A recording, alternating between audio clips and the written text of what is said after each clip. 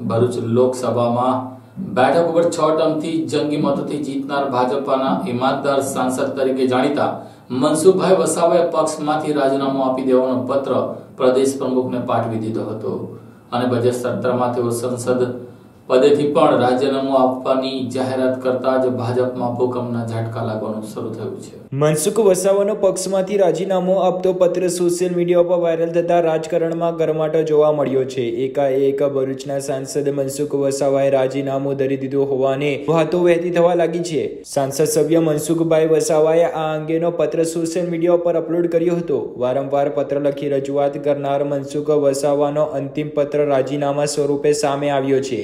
સાંસદ મનસુખ વસાવાએ રાજીનામું આપતા પત્ર સોશિયલ મીડિયામાં વાયરલ થતા જ રાજકીય વાતાવરણમાં ગરમાટો જોવા મળ્યો છે. જોકે તેઓએ વારંવાર ઉચ્ચ કક્ષાએ પત્ર લખવા અંગેનો ઠપકો મળ્યો હોવાના આક્ષેપોના કારણે પણ તેઓએ રાજીનામું આપતો પત્ર જાહેર કર્યો હોય તેવી ચર્ચાઓએ ભારે જોર પકડ્યું હતું. જોકે આજે સાંસદ મનસુખ વસાવાએ મીડિયા સાથેની વાતચીત દરમિયાન જણાવ્યું હતું કે તેઓની તબિયત દુરુસ્ત ન રહેતી હોવાને પગલે તેઓએ રાજકારણમાંથી રાજીનામું આપ્યું છે અને આવનારી બજેટની બેઠકમાં તેઓ સાંસદ સભ્યના પદેથી પણ રાજીનામું ધરી દેશે. ટર્મથી લોકસભાની બેઠક જાળવી રાખનાર મનસુખભાઈ વસાવાએ આખરે રાજીનામું આપવા પાછળનું કારણ શું છે તેવા પ્રશ્નો ઊભા થવા લાગ્યા છે. જોકે હાલ તો સાંસદ મનસુખભાઈ વસાવા મીડિયાને માહિતી આપતા જણાવે છે કે તેઓની તબિયત દુરુસ્ત ના રહેતી હોય તેમજ કમરના ભાગે દુખાવો થતો હોવાને પગલે તેની સીધી અસર તેમના નાના મગજ ઉપર થાય છે, જેને લઈને તેઓ સાંસદ સભા વિસ્તારમાં ન્યાય આપી શકતા નથી. વધુમાં તેઓ ઉમેર્યું હતું કે તેઓ ને પક્ષ કે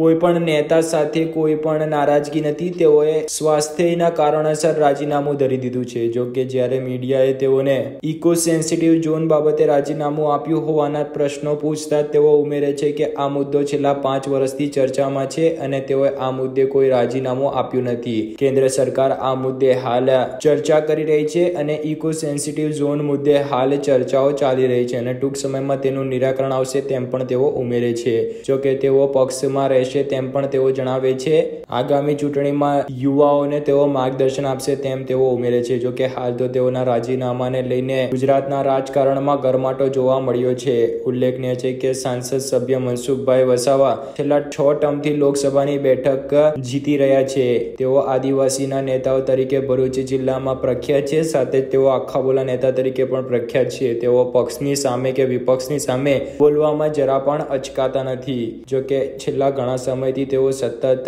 ઉચ્ચ કક્ષાએ રજૂઆત કરતા આવ્યા છે. ત્યારે આજરોજ તેઓના રાજીનામાના પત્રને લઈને તેમના સમર્થકોમાં નારાજગી જોવા મળી રહી છે. કયા મુદ્દે આપની રજૂઆત હતી ને આ બાબતે સરકાર તરફથી કોઈ પ્રતિભાવ આપી? મેં પ્રદેશ પ્રમુખે લખેલા પત્રમાં મેં સ્પષ્ટ કહ્યું છે કે પાર્ટીએ મને ઘણું બધું આપ્યું છે. મારી ક્ષમતા કરતાં પણ વધારે આપ્યું છે. છ છ ટર્મથી સંસદ સભ્ય તરીકે ચૂંટાવીને પાર્ટી મોકલે છે. પાર્ટી માટે કે સરકાર માટે જરા પણ મને નારાજગી નથી. મારા ઘણા બધા નજીકના મિત્રો જાણે છે અને કેટલાક આપણા મીડિયાના મિત્રો પણ જાણે છે કે મારે ઘણા વખતથી તબિયત સારી નથી રહેતી, કમરનો પ્રોબ્લેમ રહે છે અને કમરના પ્રોબ્લેમના કારણે માથા પર, નાના મગજ પર સીધી એની ઇફેક્ટ થાય છે. એટલે પ્રવાસ કરવા મારા માટે બહુ મુશ્કેલ હોય છે. એટલે ઘણા સમયથી મારા નજીકના મિત્રોને પણ મેં કીધું કે મારાથી પ્રવાસ થતો નથી, એટલે મારે થોડો આરામ કરવાની પણ જરૂર છે. એટલા માટે મેં પ્રવાસ નહીં શકે, આખા લોકસભામાં મારે ન્યાય આપવો પડે. એટલે ન્યાય આપી શકું તેવી આજે સ્થિતિ નથી. અને આપ પણ ઘણા પત્રકાર મિત્રો, આપ પણ જાણો છો કે જ્યારે જ્યારે ઘરે આવ્યા હોય ત્યારે હંમેશા આરામની સ્થિતિમાં હોઉં છું. એટલે પાર્ટી કે સરકાર માટે જરા પણ નારાજગી નથી.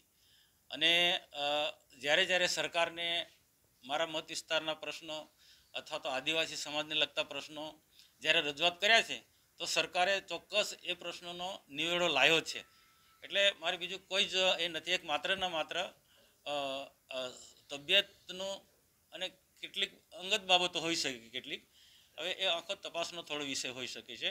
પણ પાર્ટી કે સરકાર આમાં જરા પણ નથી.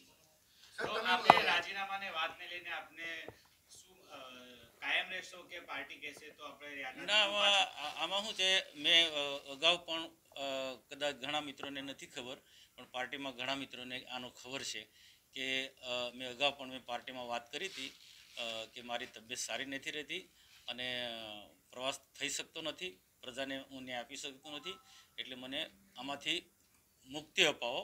હું એક નાનો કાર્યકર્તા સક્રિય કાર પ્રાથમિક સભ્ય તરીકે પાર્ટીનો કે વિચારધારાને લગતું બધું જ કામ કરીશ. આમાં અગાઉ પણ મેં વાત કરી ચૂક્યું છે. હવે આ સ્થિતિ હવે સમય એવો છે કે હવે પાર્ટીમાં ઘણું દોડવું પડે છે. ઘણું તાલુકા પંચાયતની ચૂંટણી છે, જિલ્લા પંચાયતની ચૂંટણી છે. એટલે ખૂબ પ્રવાસ કરવો પડે અને કરવો તો પડે સંસદ સભ્ય તરીકે. સાહેબ, તમે અગાઉ બી ઇકો મુદ્દો છેલ્લા બે મહિનાથી ઉઠાવતા આવ્યા છે. તો શું એને લઈને આ એક રાજીનામું હોઈ શકે? ના ના ના ઇકો ના ના ઇકો સેન્સિટિવ ઝોનનો મુદ્દો તો હમણાં બે મહિનાનો પહેલો નથી. ઇકો સેન્સિટિવ ઝોનનો મુદ્દો તો છેલ્લા પાંચ વર્ષથી છે. અને એ સરકાર ઉકેલવાની દિશામાં આગળ જઈ રહી છે. એટલે ઇકો સેન્સિટિવ ઝોનનો મુદ્દો આ રાજ્યના પાછળ કોઈ એવું છે જ નથી. ઇકો સેન્સિટિવ ઝોન કે બીજા કોઈ પણ મુદ્દા નથી. લોકસભાની લોકસભાની જે ટર્મ છે સાહેબ હવે બે અઢી વર્ષ જેટલા બાકી છે હજુ. તો લોકસભાની ટર્મ પૂરી કરશો કે પહેલા રાજીનામું? ના હું મેં પત્રમાં લખ્યું છે. કારણ કે આમાં શું છે, લોકસભામાં પણ આપણે જઈએ તો ત્યાં પણ પૂરો સમય હાજરી આપવી પડતી હોય છે. ઘણું બધું વિચારવું પડતું હોય છે. મન મસ્તિષ્કથી વિચારવું પડતું હોય છે. એટલે ત્યાં પણ એવું નથી લોકસભામાં ત્યાં આરામ હોય, ત્યાં પણ ખૂબ મહેનત કરવું પડે છે. તો હવે હું પ્રદેશ પ્રમુખને મેં વાત કરી છે અને જેવું બજેટ સત્ર ચાલુ થશે તો સ્પીકરને મળીને ત્યાં હું સંસદ સભ્ય પદેથી પણ હું રાજીનામું આપવાનું પ્રદેશ પ્રમુખે એવું કહ્યું કે મનસુખભાઈને રાજીનામું મળી ગયું છે એ બાબતે અમે રાજીનામું સ્વીકારવાના નથી. એ પાર્ટી પાર્ટીનો વિષય મારા માટે સારું કહેવાય પણ મારો વ્યક્તિગત પ્રશ્ન છે કે આ મારો સ્વાસ્થ્ય સાથે જોડાયેલો પ્રશ્ન છે એટલે પાર્ટીના લોકોને સમજાવીશ.